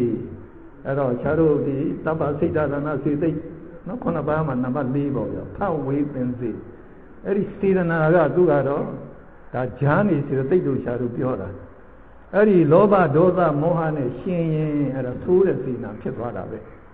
ကုသိုလ်စိတ်နဲ့ရှင်မှပဲအဲ့ဒါတရားတို့နော်တတိတို့အဲ့တော့အဲ့ဒီပညာတို့နဲ့ရှင်ရင်တော့ကောင်းတဲ့စိတ်ဖြစ်တယ် အဲ့အဲ့ဒါလည်းပဲတဏှာနာနီတဏှာမုတ်ဆိုးနာနီမုတ်ဆိုးဆိုတဲ့သဘောပေါ်ဒီပြနော်အဲ့တော့ဒေါသနဲ့ရှင်တဲ့စေတနာကအဲ့ဒါကသူကနေပြီးတော့အဲ့ဒါနော်ဒီပြုတ်လို့ဖို့အဲ့ဒါသူကဥတီချက်ချမှတ်တာပဲကဲဒီချင်းငါတို့နာအောင်ငါ့ကိုနာအောင်တိုက်တယ်ဒီကောင်တပ်ပြစ်မယ်အဲ့တော့သူ့နဲ့သူလူရှင်ဖြစ်တဲ့စိတ်ရှိတဲ့စိတ်တွေကဲခင်များတို့အားလုံးကိုယ်ဆိုင်ရာကိစ္စကိုလုပ်ကြဆိုတဲ့အခါကျတော့ စိတ်ကအဲ့ဒီစိတ်တစားယုံနေတဲ့စိတ်လက်ကိုဆွဲတာဟောဒီလက်တွေဆွဲနိုင်ဖို့ကစိတ်တစားယုတ်ပါမှဒါဆွဲလို့ရတာပါအဲ့ဒီစိတ်တစားယုံနေတဲ့လို့ဆွဲလိုက်တဲ့အခါရိုက်လိုက်တဲ့အခါကျတော့ချင်းမသေးသွားဘူးလားကဲဒါလို့ဆိုရင်ဒီချင်းသေးစက်ပြတ်လို့ဘယ်လိုလုပ်တယ်အဲ့တော့ခြားခြားတာနော်တတိဆင်ကြီးပေးတဲ့သဘောမျိုးကဟာလက်မင်းကလွှဲပြီးတော့ချင်းရိုက်တော့မင်းကတရမင်းကတတ်တဲ့လူပဲတရခံပဲလို့ပြောရင်လက်ကသူပါပြောမလဲ ဟာကျုပ်ကတော့မလှုပ်တတ်ဘူးကိုဟာကိုနဲ့မလှုပ်တတ်ဘူးအောက်ချတိုင်းဒီတိုင်းပဲနေမှာပဲစိတ်ကလှုပ်လိုက်လို့လှုပ်သွားတာဘာလှုပ်မှလည်းကျုပ်သိတာမဟုတ်ဘူးဟာဒါလိုစိတ်ခင်များတရခံမဟုတ်ဘူးစိတ်မင်းကဒီလက်ကိုလွှဲတော့မင်းရိုက်တယ်မင်းတရခံမင်းကလူသတ္တမဒီရှင်သတ္တမပဲလို့ပြောရင်စိတ်ကလည်းမပြောမယ်ကျုပ်ကအာယုံသိတတ်တဲ့သဘောများပဲတဲ့စိတ်ကအာယုံသိသိနေတဲ့သဘောကြီးစိတ်ပဲနော်ဒါအဲ့တော့ ရှင်ကိုသတ်ဖို့နဲ့ကြုတ်ကြည့်ရချက်မရှိဘူးတဲ့သူကရည်ချက်ချမှတ်တာမဟုတ်ဘူးစေတနာကအဲ့ဒါနော်ဒီလက်ကိုဆွဲပေးလိုက်ပါဆိုတဲ့သဘောမျိုးပေါ့လေအဲ့တော့ကိုယ်ဆိုင်ရာကိစ္စလုပ်ဆိုတာဒါတိုက်တွန်းတဲ့သဘောဒါရောက်ကျုပ်ဆွဲပေးလိုက်တာပဲဒီလိုစဉ်ပင်ရင်တရခံမလို့တဲ့အဲ့ဒါစေတနာပဲတဲ့ဗျနော်စေတနာကသူကစိတ်ကနော်ဒီလက်တစ်ဖြစ်မှာဂတိသသိမ့်ဖြစ်တာဒီဂတိသသိမ့်လုံးမှာစေတနာကအကုန်ပါတာပဲ အဲ့ဒီစေတနာကသူ့နဲ့တူတူဖြစ်တဲ့စိတ်စိတ်တဲ့စိတ်တွေဒီကောင်ကရှင်ဘက်တရားတွေကိုလှုပ်လှုပ်လှုပ်သတ်သတ်သတ်တီအောင်သတ်သတ်သတ်ဆိုရတော့သူကကြောက်ကြစိုက်သွားတာပဲခေါင်းကပြောတဲ့နော်ဒီဟိုဗျာပါခေါင်းကပယောကဗျာပါရလို့ပြောလိုက်တယ်အဲ့ဒါပေါ့ဗျာနော်ပြုမှုအာထုံမှုသဘောမျိုးတို့ကခေါင်းကစိတ်စောတိုက်တွန်းမှုအဲ့တော့စိတ်စောတိုက်တွန်းနေတဲ့သမှုနဲ့အဲ့ဒီစေရနာကအဲ့ဒါလို့နော်ဒီ အလုတ်ပြီးမြောက်သွားတဲ့အထိသူကစိတ်စောတိုက်တွန်းလို့အလုတ်ကပြီးမြောက်သွားတယ်တဲ့အဲ့ဒါဘု து ကြောင့်ဒီအလုတ်ပြီးမြောက်တယ်လေစေတနာကြောင့်ဒါကြောင့်ဖယားကစေတနာနဲ့အလုတ်ကိုနော်စေနာကြောင့်ဒီအလုတ်ဖြစ်သွားတယ်ဒါကြောင့်စေနာနဲ့အလုတ်ကိုထပ်တူလုပ်ပြီးတော့နော်စေတနာဟံဘိခဝေကမ္မံဝဒါမိတဲ့စေတနာကိုကံလို့ငါဘုရားသတ်မှတ်ပါတယ်ကံဆိုတာအလုတ်ပဲ နော်ဒါကြောင့်ဒီအလုတ်ကိုစေနာကလုပ်တဲ့အတွက်အဲ့ဒါနော်အဲ့ဒါကရှားဥပမာလေးပေးတာပေါ့လေဗျာဒါလေးနည်းနည်းနော်ဒါမြန်မြန်လေးနားလည်နိုင်အောင်ဆိုတဲ့သဘောမျိုးဒါကြောင့်ဆရာတို့ဒီမှာလေကမ္မပစ္စည်းဆိုရင်စေတနာနော်စေတနာလောက်ပဲဆရာတို့ကတို့သတ်မှတ်တယ်အဲ့ဒီစေတနာကလည်းကံတတိမြောက်တဲ့စေတနာပဲဆရာတို့ထင်ထားတာအခုသူယူခိုင်းတာဘယ်တော့ယူခိုင်းတာလဲနော်စေနာ89ပါလို့ပြောတာစေနာအကုန်မယူဘူးလား အေးဒါကြောင့်စိတ်အားလုံးစေနာအကုန်ယူလိုက်တော့စိတ်အားလုံးပေါ့ဗျာစိတ်အားလုံးမှာရှင်တဲ့စေနာ89ပါးနော်အဲ့ဒီ89ခုဟူသောတရားသည်ကာမပစ္စည်းဖြစ်ပါတယ်တဲ့ဒါကြောင့်ကာမပစ္စည်းအစေနာအားလုံးကိုတောက်ပါကာမပစ္စည်းသည်နာနဲ့ခဏိကကာမပစ္စည်းနဲ့သဟဇာတာကာမပစ္စည်းဟူ၍မပါကွဲတယ်တဲ့အဲ့တော့နော်အဲ့ဒီဒီနာနဲ့ခဏိကဆိုတာက နော်အဲ့တော့သူ့ဒီကံนี่ဖြစ်တဲ့အချိန်ကတစ်ချိန်သူအကျိုးပေးမှာကနောက်တစ်ချိန်အဲ့ဒါလို့နော်အကျိုးပေးတာနဲ့ဖြစ်တာနဲ့မတူလို့နာနဲ့ခဏိကလို့ခေါ်လိုက်တယ်နော်အဲ့တော့ဆရာတို့ကဘာကောက်လဲဆိုတော့ကအဲ့ဒီနောက်ကမှရှင်တတ်နေတဲ့အခါငါးကိုတတ်နေတဲ့အခါအဲ့ဒီတတ်နေတဲ့အခါမှာဖြစ်တဲ့ဒေါသစိတ်နဲ့ရှင်တဲ့စေတနာအလုံးဒီအဲ့ဒါ ဒီစိတ်နဲ့အတူရှင်သွားတဲ့စေနာဖြစ်လို့သဟဇာတကံလို့ဆရာတို့ကဒီလိုကောက်တယ်နော်ဒါသူနဲ့ဒီစိတ်နဲ့အတူတကွဖြစ်သွားတာသဟဇာတကံပြီးတဲ့အခါကျတော့မှဒီစိတ်ကဖြစ်ပြီးတော့ねချုပ်တယ်ချုပ်သွားတာနဲ့အဲဒီစေတနာကကံတတိစိတ်မှာခြံရစ်တယ်လို့ဆရာတို့ဒီလိုပြောပါတယ်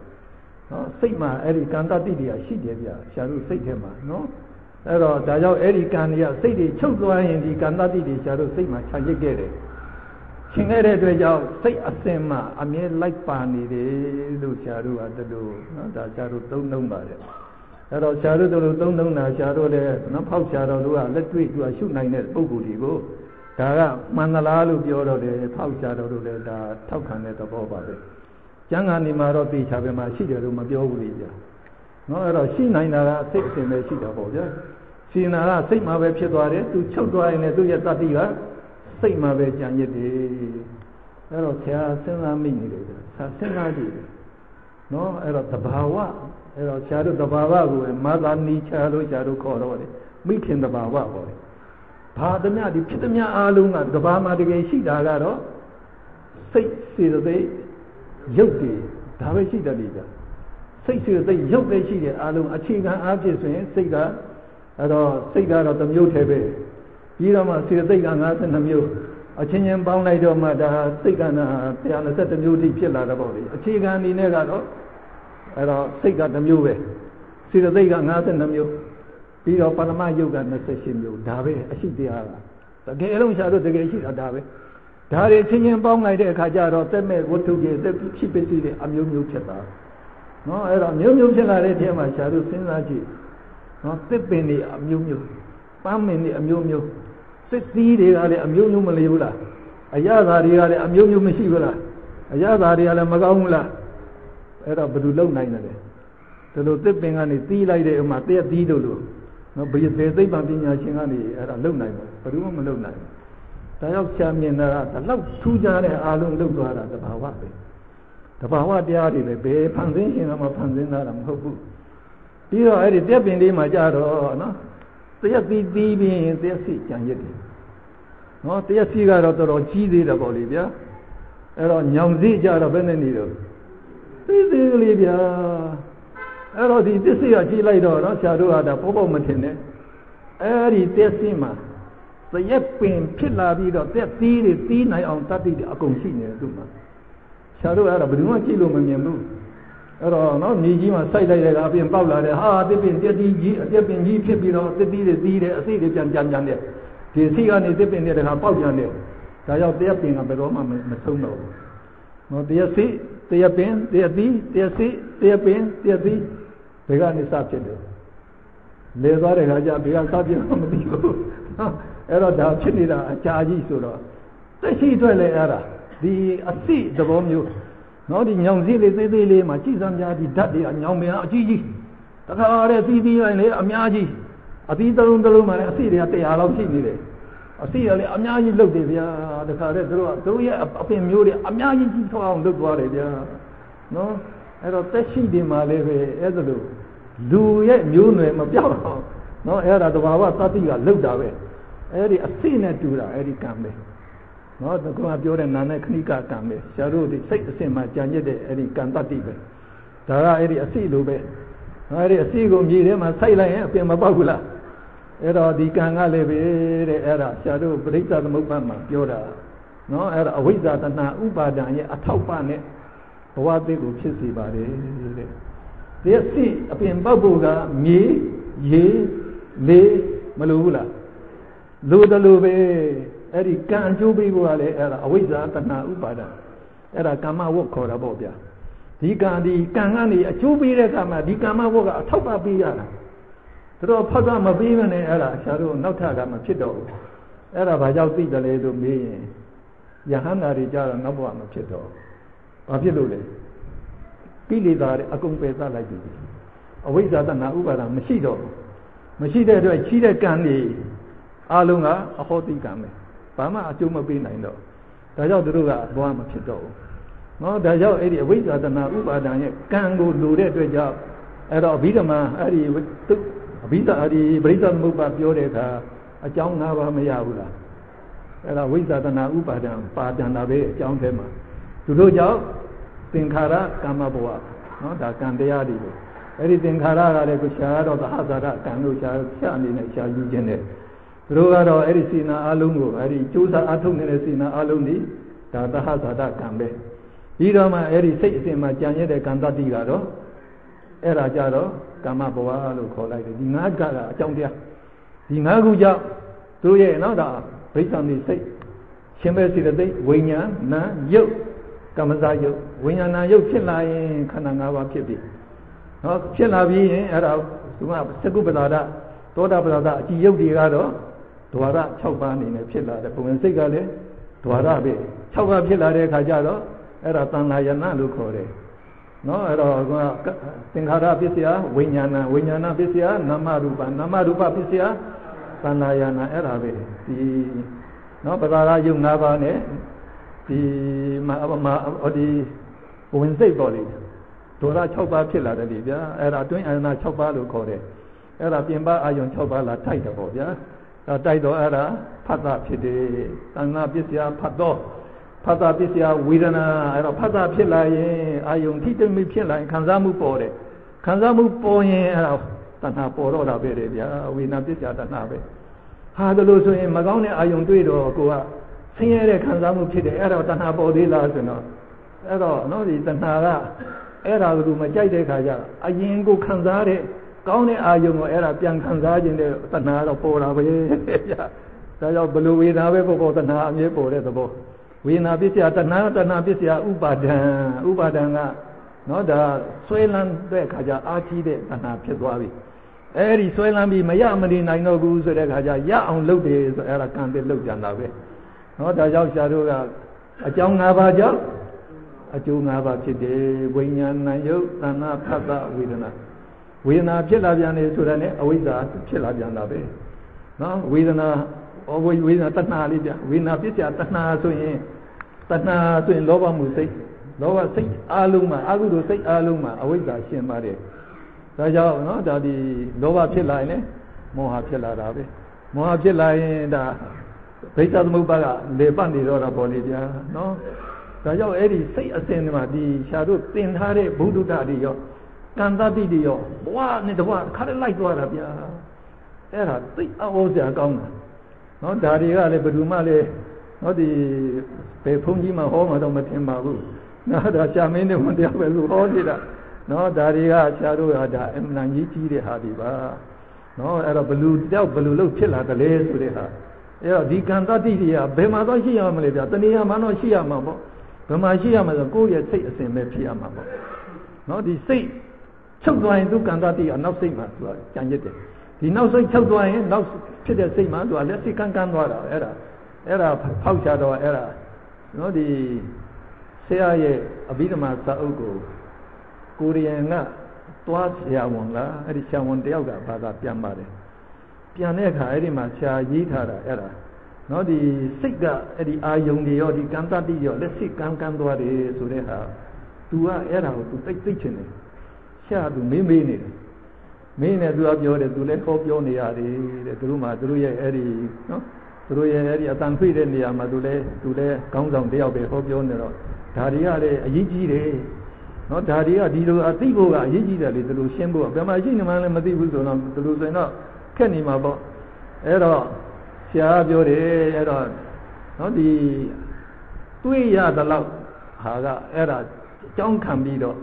ဒါလက်စိကမ်းတယ်လို့ဒါဆရာတို့ကဒါအသေးပဲကောက်ရပါတယ်လို့ဥပမာပြောလိုက်ရင်နော်ဆရာတို့ဒီအဘိဓမ္မာမှာပြောထားတာကရူပါယုံကိုမြင်သည့်စိတ်တစ်ခုကပဲမြင်နိုင်တယ်လို့ပြောထားတယ်။ကြံတဲ့စိတ်တွေမမြင်နိုင်ဘူးလို့တို့ပြောထားတယ်။ကဲဒါလို့ဆိုရင်နော်ဒီမြင်သည့်စိတ်ကိုဘုရားဆရာတို့ပြောတယ်မြင်သည့်စိတ်ကမြင်ပြီးတော့သံမိတ်ဆိုင်လက်ခံတယ်သံဒီနာကောင်းမကောင်းစုံစမ်းတယ် ကောင်းမကောင်းစုံစမ်းမှုကသူမမြင်မဲနဲ့စုံစမ်းလို့ရပါမလားအဲ့တော့သူမြင်လို့ပေါ့ဗျာပြီးရင်ဒီဝုတ်ထောကဆုံးဖြတ်တယ်ကောင်းမကောင်းဆုံးဖြတ်တယ်ဆိုတော့အဲ့တော့သူကတော့မမြင်ဘူးလားမြင်တာပေါ့ဗျာအဲ့ဒီဓာတ်ရိုက်တာမမြင်နဲ့လက်စိတ်ကမ်းသွားတဲ့ဟာကြတော့သူကမြင်တဲ့သဘောပဲနော်ရှားတို့ကဓာတ်ပုံရိုက်ပြလိုက်မြင်တဲ့သဘောပေါ့ဒီဗီဒီယိုထဲမှာမှတ်တမ်းတင်တာတော့ဖွင့်ပြလိုက်ရင်မြင်တဲ့သဘောပေါ့လေနော်ဒါကြောင့်ဒါစိတ်အစင်မှာလိုက်နေတာပဲလို့ဒါရှားတို့ကတလို့ဒါကောက်ချက်ချလို့ရတယ် နော်အဲ့တော့ဒုမြတ်စွာဘုရားဆိုရင်အဲ့ဒါနော်ဒီသူ့ရဲ့ဗုဒ္ဓဝင်မှာအခုရှားတို့တိပိဋကရှားတော်ရေးထားတာသူ့ရဲ့နောက်ဆုံးဘဝသိတ္တမင်းသားဘဝမှာတဲ့လေးသင်ချင်တဲ့ကဘာတသိမ့်ဘဝတွေဖြစ်ခဲ့တဲ့မှာသင်လေးလာခဲ့တဲ့အတွေ့အကြုံတွေရောလေးလာထားတဲ့အတတ်ပညာအသိပညာတွေအားလုံးသူမှတ်မိတယ်အဲ့တော့ဘလောက်အော်ကြကောင်းနေပြီနော်အဲ့တော့သူ့ဖေကနေ16နှစ်ကြာတော့သူ့ကိုရှင်ပြန်ခါဒီရှင်ပြန်မြောက်တယ်လေဗျ ရှင်ပြန်မြောက်တာလေသူ့ကိုဖယားမဖြစ်စေခြင်းဘူးစကြောက်လေးမင်းမဖြစ်စေခြင်းလို့အဲ့တော့ဒါတော့မိမယူလိုက်ရင်ခြေကျုပ်မိပြီပေါ့ဗျာဒါစင်တော့မထွက်နိုင်တော့ဘူးသိတော့ဒါဆိုရင်တော့စက်ကြောင်လေးမင်းဖြစ်မှာပေါ့လေအဲလိုသူကဘဝင်နှောက်မယ်တဲ့သူ့ရဲ့ဆွေမျိုး7400တောင်နဲ့ဗျာတာကင်ဝေမင်းဆွေမျိုးတွေအဲ့တော့ခင်ဗျားတို့မှာတဲ့သမီးအရွယ်ရောက်တာရှိရင်နန်းတော်ကိုပို့ကြပါတဲ့အဲ့ဒါသူတို့ကအမိပြားလုပ်ဖို့ဆိုတာပို့ကြပါဆိုတဲ့အခါကျ ဘယ်ဆွေမျိုးမှမပို့ဘူးအဲ့တော့ဘာဖြစ်လို့မပို့လဲလို့စုံစမ်းလိုက်တော့သိဒ္ဓတမင်းသားကရုပ်ကတော့ချောပါတယ်တဲ့ဘာပညာမှမတတ်ဘူးတဲ့ဒါကြောင့်အိမ်တော်ကိုကြည့်ရှုနိုင်မဲ့အကြီးတွေးမရှိဘူးတဲ့ဗျာဒါကြောင့်သူတို့စိတ်ပချဘူးလို့မပို့ဘူးဆိုတဲ့အခါအဲ့ဒီမှာအဖေကသူ့မိတာသိဒ္ဓတမင်းသားငါသားဆွေမျိုးတွေတို့ပြောတယ်ကွာအဲ့ဒါမင်းမင်းကသူကဘာမပဲပညာမှမတင်မဲ့ဘူးနော်ဘယ်ဘာပညာမှမပဲချာမှမတင်ဘူးအဲ့တော့ဘယ်နဲ့လုံးမလဲတဲ့ အဖေကျွန်တော်နော်ကျွန်တော်လေ့လာဖို့မလိုဘူးတဲ့အဲဒီဘဝတွေမှာနော်ဒီမင်းသားတွေတတ်အပ်တဲ့အသားဆက်ရှိပါကျွန်တော်အကုန်တတ်ပါတယ်အဖေဘယ်ဘယ်ဘယ်ပညာပြစီခြင်းလဲဟာအဲ့ဒါလို့ဆိုရင်တော့လေးဖြစ်တဲ့လေးများဖြစ်တဲ့အတတ်ပြစံကွာတဲ့ကဲဒါလို့ဆိုရင်အဖေကြီးညာလိုက်ခုနှစ်ရက်မှဆိုရင်အဲ့တော့တိတ်တမင်းသားလေးများတတ်ပြလိမ့်မယ်ဆိုတော့ခါတဲ့နောက်တော့ခါတဲ့ကြီးမောင်ပြီးတော့တွေးကြော်တော့ပေါ့ဗျာ အဲ့ဒီနေ့မှာတခါတည်းကွင်းထဲမှာတခါတည်းနော်စင်တွေကြီးကြီးတခါတည်းထိုးထားတယ်ဆွေမျိုးရှစ်တောင်းလေးတော့တခါတည်းလာတယ်နေရာယူဘယင်းနေပါနေရာယူသူကတော့ကွင်းလေမှာအဲ့ဒီလေးနော်ဒီလေးကလည်းပဲသူတို့ကဒီလေးကျိုးတင်ဖို့ဆိုတဲ့ဟာဘူတထောင်အားလို့တယ်လို့ပြောဘူတထောင်လေးလို့ခေါ်တယ်လေကြာအဲ့ဒါကလိုလေလေးနဲ့သူကတင်တာတင်လိုက်ပြီးတော့ကျိုးအတင်းနေတဲ့ခါကျတော့အဲ့ဒါသူကစမ်းလိုက်သေးတယ်တောင်းတောင်းတောင်းစမ်းလိုက်တာတမျိုးလုံးခိမ့်သွားတယ်ပြောတယ်ကြာ ပြီးတဲ့အခါမှာတခါတည်းလေးအတတ်တွေပြလိုက်တာတခါတည်းလေးတအမျိုးစုံပြသွားတာဘယ်သူမှမပြနိုင်တဲ့လေးသမားတွေခေါ်လာတယ်သူတို့မပြနိုင်တဲ့အတ္တတွေပါသူကပြလိုက်တော့အဲ့တော့မှဆွေမျိုးတွေအားလုံးကဟာသဘောကျသွားကြတဲ့ခါကျသမီးတွေပို့ကြတယ်ဘယ်လောက်တော့၄000ပြအဲ့ဒီ၄000ပြီမဲ့သူဖရာလောင်းတာအားလုံးတော့မယူပါဘူးတယောက်ပဲယူပါတယ်အဲ့ဒါဘုသူလဲတယောက်ပဲနော်အဲ့ဒီတယောက်ရလဲသူ့ရဲ့နော်သူ့ရဲ့ ပါရမီဖြစ်ပဲလေကြာနော်အဲ့ဒါဟိုသူ့မိတော်ဘဝတုန်းကသူ့မိတာအမျိုးသမီးပဲနော်နောက်ဆုံးမှသူကဒါမြတ်တော်တရားတည်ပြီကြံတဲ့အားလုံးထက်ပူလှတာနော်ပူလှတယ်သူကပါရမီတွေဖြည့်ထားတော့ကုသိုလ်ကလည်းများနေတော့အလားဆုံးလည်းဖြစ်တယ်အဲ့တော့ညဘက်စဉ်လဲနော်သူ့အိတ်တဲ့ခန်းဆိုရင်ဘူးလင်းနေတဲ့တဲ့အလေးရောက်နဲ့လင်းနေတာအဲ့တော့ရှားတို့လည်းပဲအဲ့ဒါလမ်းရတဲ့လူဆိုရင်လင်းတယ်လေဗျာ မီးဖုံးမမလို့လင်းနေတာဒါပဲဒီအလင်းရောင်ကြတော့ကိုယ်ပဲမြင်တယ်လမ်းရတဲ့လူပဲမြင်တယ်သူတို့ရဲ့ကိုယ်အလင်းရောင်ကြတော့ကြံတဲ့လူတွေကမြင်နိုင်တဲ့သဘောမျိုးနော်ဒါကပါရမီရှိလာဒီဖြစ်ဖြစ်တယ်လို့သူတို့ပြောပါတယ်အဲ့တော့ဒါတွေအားလုံးကိုရှားတို့ကဖခင်ကဒါတွေအားလုံးမှတ်မိတယ်ဘာဖြစ်လို့မှတ်မိတာလဲအဲ့ဒါကြောင့်ဆရာတို့ပြောတာဒီစိတ်အလုံးချုပ်သွားရင်သူ့မှာမှတ်သားရတဲ့ကုန်းကနော်ဒီအမှတ်သားတွေအားလုံးတန်သားတွေအားလုံးနောက်စိတ်လက်ဆက်ကနောက်စိတ်ကနောက်စိတ်က ပြီးတဲ့အခါကျတော့လေဗိဓံတွေသုတိစိတ်ပြီးတဲ့နဲ့ဗိဓံတွေစိတ်နောက်ဘဝချက်ချင်းတကားတဲ့အချမ်းမလားဘူးအဲ့တော့လက်စိတ်ကတော့ပြန်တာပဲနော်ဒါကြောင့်စိတ်အစင်မှာအကုန်ပါနေတဲ့အတွက်ကြောင့်ဆရာကကောက်ချက်ချတယ်အဲ့တော့ဒုစိတ်ကအကြီးဆုံးကွန်ပျူတာပဲလို့ပြောတာဘာဖြစ်လို့လဲဒေတာတွေသံဂရေပေါင်းမြောက်များသောကိုဒါတိုးဆောင်ထားနိုင်တာပေါ့ဗျာတကယ်လည်းဟုတ်တဲ့သဘောမျိုးပါနော်အဲ့တော့ဒီ ရှားတို့ရှားဝန်တွေကလည်းသူတို့ကလည်းစိတ်ဆိုတာဘာမှမသိတဲ့ခါကျခုနောက်ဒီစိတ်ပဲလို့သူတို့သူတို့ကောက်နေတာအဲ့ဒါကိုနော်ရှားတို့အဲ့ဒီအင်္ဂလန်ကနာမည်ကြီးတဲ့ဆာဂျွန်အက်ဆယ်စာပွဲရတယ်ဆိုရင်အင်္ဂလန်မှာဆိုရင်ဒါအမှန်တော်တဲ့ပုဂ္ဂိုလ်ကစာပွဲပေးတာအဲ့တော့ဆာဂျွန်အက်ဆယ်ကသူကအဲ့ဒီ neurologist specialist သူကအဲ့ဒီဥနှောက်ရဲ့ဒီဆောက်ပုံကိုလေ့လာတယ် လေ့လောင်တဲ့ခါကျတော့သူကအဲ့ဒါသူကနေသူတွေ့ရှိချက်ကိုပြောတာဟာဥနှောက်ဟာတဲ့ကွန်ပျူတာသလုံးပဲတဲ့နော်ဒါပေမဲ့တဲ့ဒီကွန်ပျူတာကသစီကနေပြီးတော့ထိန်းချောင်းပေးရတဲ့ကွန်ပျူတာပဲတဲ့သစီလို့ကြုတ်ပြောလိုက်တဲ့ဟာကနော်အဲ့ဒီဒီဒီတာမန်ရုပ်ဝတ္ထုတွေဟိုစုံစမ်းတဲ့သစီမျိုးမဟုတ်ဘူးမသိဘယ်သူမှမသိနိုင်တဲ့ဟာအကြောင်းတရားဖြစ်ပါတယ်ဆိုယူလိုက်တာ အဲ့တော့ဆရာတို့အဲ့ဒါကြည့်ကြံဖြစ်ဆိုရင်ဒီသစိဘယ်လိုဖြစ်မလဲစိတ်ပေါ့ဗျာနော်ဒါဆိုရင်ဆရာတို့ဦးနှောက်ကိုလည်းဘယ်သူကထိမ့်ချုပ်တာလဲစိတ်ကပဲဆရာပြောတယ်ဒီလက်ကသူ့ဟာနဲ့လူလှုပ်မှမလှုပ်နိုင်ပဲကဲဦးနှောက်ကနေလှုပ်ပေးနိုင်တယ်ဆိုကဲဦးနှောက်မင်းလှုပ်စမ်းပြောစမ်းပါဒါလှုပ်နိုင်ပါမလားဘာမှမလှုပ်နိုင်ဘူးအဲ့ဒါစိတ်ကပါမပဲဒါလှုပ်လို့ရတယ်အားလုံးပဲဒါစိတ်ကနေပြီးတော့ဒါဦးနှောက်ကိုလည်းဒါသူကနေပြီးတော့ဒါ command ပေးတာပေါ့ဗျာ command ပေးတော့ဦးဒီဦးနှောက်ကလည်းပဲအာယုံကြောနေကလည်းစိတ်သူကတော့ နော်ဒီကြွက်သားတွေကိုဒါသူကလှုပ်အောင်သူကလှုပ်ပေးတာပေါ့အဲ့တော့ဒါလောက်နဲ့မရဘူးဆိုတဲ့သဘောမျိုးဘာဖြစ်လို့လဲရုပ်ကလှုပ်ပြတာမရှိဘူးတဲ့မလှုပ်တတ်ဘူးလို့သူတို့ပြောတယ်နော်ရုပ်တွေကဖြစ်တဲ့နေရာမှာပဲချုပ်တယ်တဲ့ဒါလို့ဖြစ်တဲ့နေရာမှာချုပ်စဉ်ရွေ့နိုင်ပါမလားဒါလို့စဉ်ဘာဖြစ်လို့ရွေ့တာလဲအခုဘာဖြစ်လို့ရွေ့နေတာလဲနော်အဲ့ဒါကြောင့်ဆရာတို့ကဘာကောက်ရတယ်ဒီမှာဖြစ်တဲ့ရုပ်ဒီတင်ချုပ်သွားပြီနောက်ဖြစ်တဲ့ရုပ်ဒီမှာဖြစ်တယ်ချုပ်သွားတယ်နောက်ဖြစ်တဲ့ရုပ်ဒီမှာဖြစ်တော့ချုပ်သွားတယ် အဲ့လိုဖြစ်ဖြစ်အောင်ဆိုတာကအဲ့ဒါကဝါယောတတ်လို့ခေါ်တယ်နော်ဝါယောဓာတ်ကနေပြီးတွန်းတွန်းပေးတဲ့သဘောကြောင့်နောက်ထပ်ဖြစ်တဲ့ရုပ်တဲ့ဒါလိုရွရွသွားတဲ့အတွက်ကြောင့်နော်ရှားတို့မှာရုပ်ရှင်ရဲ့ဖလင်ကြည့်လိုက်ရင်မိသားစုရဲ့လက်ဆွဲတဲ့နေရာနော်လက်ဒီသူရဲ့ဖလင်ပြတစ်ခုမှသူ့တဲ့အောက်မှာနောက်တစ်ခုကဒီမှာနောက်တစ်ခုမှနောက်တစ်ခုတော့အဲ့တော့ရုပ်ရှင်နဲ့ကြည့်လိုက်တော့တကယ်သူကလက်လှုပ်သွားတဲ့သဘာဝလိုဖြစ်သွားတဲ့သဘောကိုနော်အဲ့ဒီသဘောမျိုးနဲ့ရှားတို့ဒါပေါင်းကြည့်လိုက်တော့ဒါတလူ ဒါစိတ်ကြတော့အကြီးဆုံးကွန်ပျူတာပဲလို့ရှားတို့ကတလူကောက်ချက်ချပါတယ်နော်အမှန်တန်အောစရာကောင်းပါတယ်ဒါကြောင့်ဒီလိုဟာတွေမသိတဲ့အခါကျတော့အဲ့ဒါအမှန်ကိုအကြောင်းရင်းကိုမသိရင်အယူမှားလာတော့တာပဲနော်အယူမှားလာတော့ပဲဓာတုနဲ့ဆိုဗျာတော်တာဆိုတာအလုံးရဲ့အကြောင်းရင်းကိုအကုန်ရှာတာအကုန်သိတယ်ဗျာအကြောင်းရင်းဒါကြောင့်ဒီကမ္ဘာလောကမှာတကယ်ဖြစ်နေတာကတဲ့အကြောင်း၅ပါးကျိုး၅ပါးပဲတဲ့ဗျာ နော်ဒီအကြောင်း၅ပါးကြောင့်ကျိုး၅ပါးအကြောင်း၅ပါးကြောင့်ကျိုး၅ပါးဒါပဲရှင်းနေတာပဲတဲ့အဲ့ဒီအကြောင်း၅ပါးဒီသမုဒ္ဒရာသစ္စာအကျိုးတရားအလုံးဒီဒုက္ခသစ္စာအဲ့ဒါလောကီသစ္စာနှစ်ပါးလို့ခေါ်တယ်ဒါကြောင့်ဘိသသမုပ္ပါကဝိပဿနာရှုတဲ့အခါကျမြင်အောင်ရှုရတာဒါလောကီသစ္စာနှစ်ပါးအောင်မြင်အောင်ရှုတာပဲနော်ဆရာတို့ဆရာတို့သေးကဝန်တာကြကောင်းတယ်ဗျာနော်အဲ့ဒီတော်မသိမ့်ကြီးတော်မသိမ့်ကြီးတော်ဒီနေ့တော့မလာဘူးလား မလာဘူးဆိုတော့ဆရာသူပြောပြလို့ဥဒ္ဓမပရိနဲ့သူတရားထုတ်တာတဲ့ကိလေဝိပဿနာအကုန်ပြီးသွားပါတယ်တဲ့ဝိပဿနာအကုန်မှန်မှန်ပြီးတယ်ဆိုရင်ဘုရားပြောတဲ့အတိုင်းကိုမြင်သွားနိုင်တယ်ဆိုရင်သောတာပန်ဖြစ်ပြီနော်သောတာပန်ဖြစ်ရင်တော့နိဗ္ဗာန်ဒါခံစားနိုင်ပြီပေါ့အဲ့တော့ဆရာကတော့သူ့ကိုယ်တော့မိမ့်မေးကြည့်တယ်အဲ့ဒီနိဗ္ဗာန်ချမ်းသာခံစားရတာလားဆိုတော့သူကအာလုံးချုပ် ချုပ်ငိမ့်တဲ့ခြေကိုကောင်းကောင်းရောက်ပါတယ်သူတို့ပဲသူတို့ပြောပါတယ်အဲ့တော့အာလုံးချုပ်ငိမ့်သွားတယ်ဆိုတဲ့အခါတော့ယုံနာနဲ့ဖြစ်တတ်တာလည်းမမြင်တော့ဘူး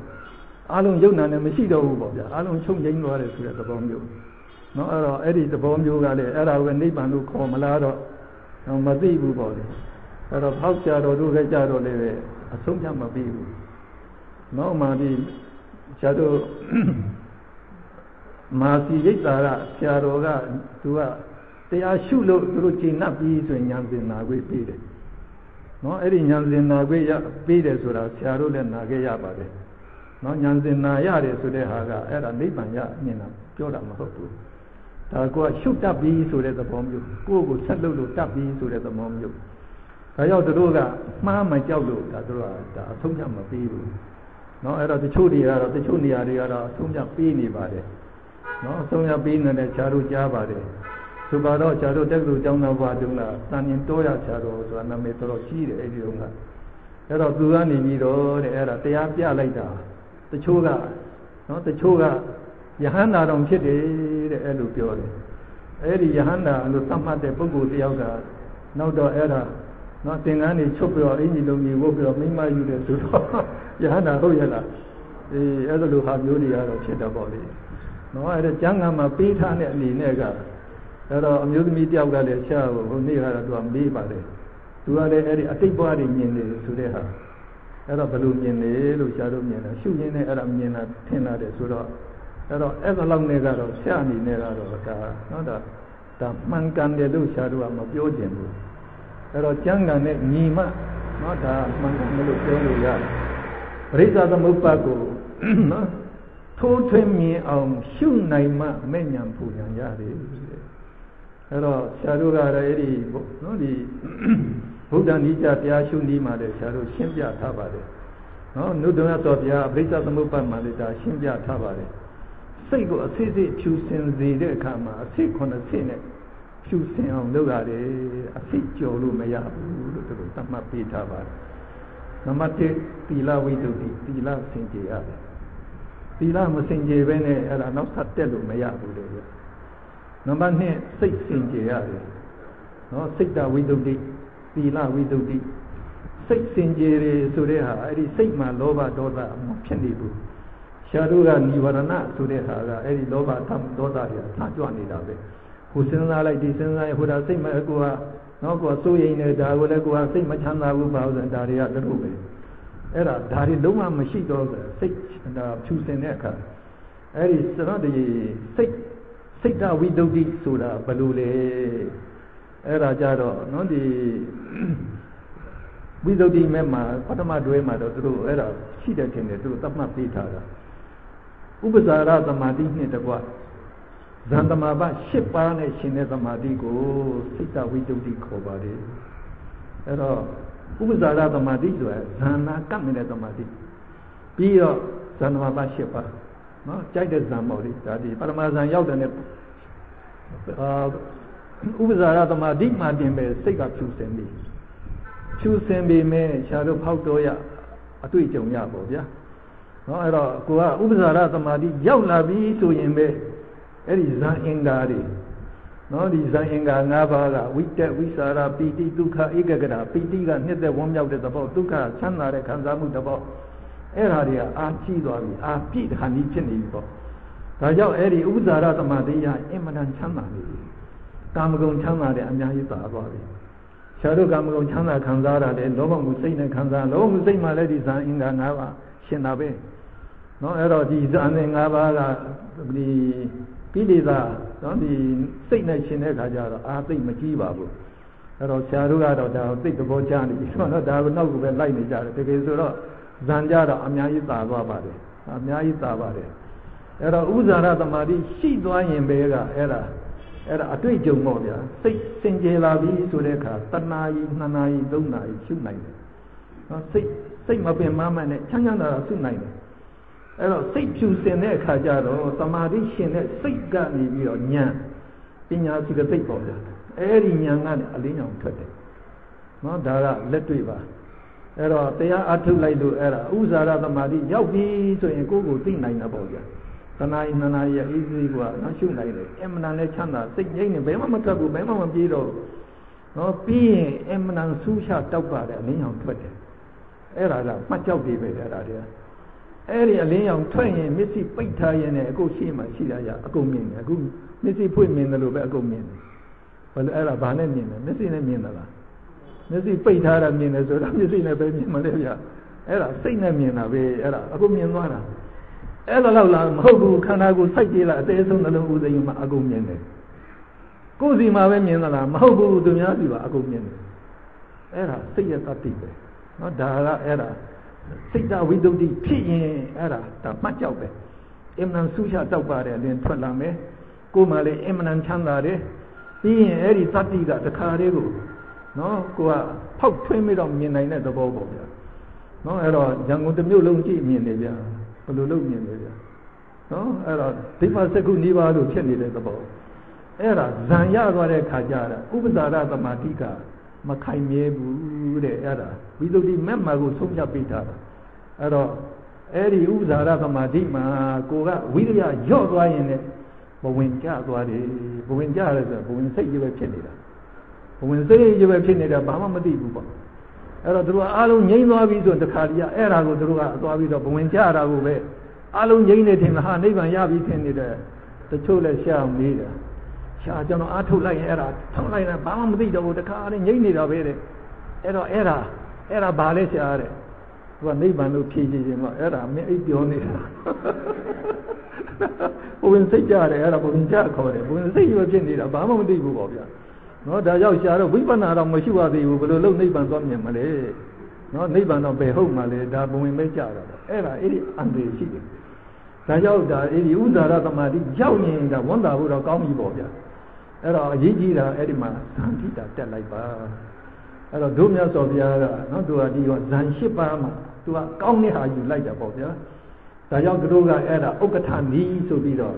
သမာသမာဓိဆိုတာရူပဝါစဇံ၄ပါးနဲ့ရှင်တဲ့သမာဓိဖြစ်ပါလေဆိုပြီးတော့ဒါဖရာကနော်အဲ့ဒါမဟာသတိပဋ္ဌာနာသုတ်တာအရေးကြီးဆုံးသုတ်ပဲအဲ့ဒီမှာဖရာနော်ဒါဟောကြားထားပါတယ်ဖရာကိုယ်တိုင်ကတရားရှုတဲ့အခါကျဝိပဿနာရှုတဲ့အခါကျရင်ဒီသုဒ္ဓဇံနဲ့အခြေခံပါလေဒါအခုကဇံ၅ပါးဆိုရင်ပစ္စမဇံလို့ခေါ်တာပေါ့လေဇံ၄ပါးဆိုရင်သုဒ္ဓဇံပဲအဲ့ဒါအကောင်းဆုံးပဲ အာရူပဇံကြတော့သူကရုပ်မှအာယုံမယူပဲကိုဗျရုပ်အာယုံမယူတဲ့အခါဝိမာရှုလို့မကောင်းဘူးပေါ့နော်ဒါကြောင့်ဆရာတို့ကအဲ့ဒီဒုက္ခဇံပဲနော်ဒါဒုတိယအစစ်တတိယစိကြရင်အဲ့ဒါဒိဋ္ဌိဝိသုဒ္ဓိစခန်းတက်ရတယ်အဲ့ဒီဒိဋ္ဌိမှာလည်းအယူမှအခြေခံယူမှကအဲ့ဒါငါဆွဲပဲနော်ငါဆွဲပဲ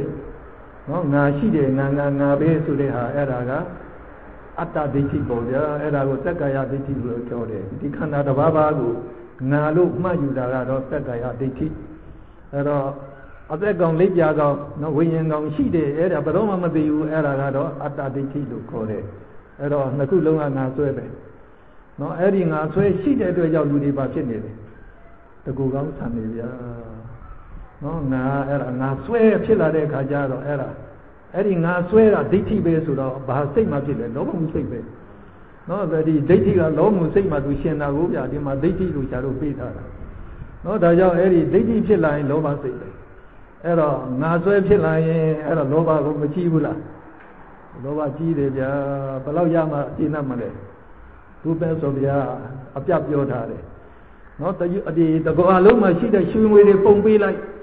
သူ့ရဲ့လောဘရှင်း납မလားမရှင်း납ပါဘူးတဲ့တကယ်လည်းမှန်ပါတယ်သူကအမြဲ ဆာလောင်မသိမ့်နေတယ်အမြဲလူကျင်နေတာဘယ်လောက်ရရလူကျင်နေမှာပဲ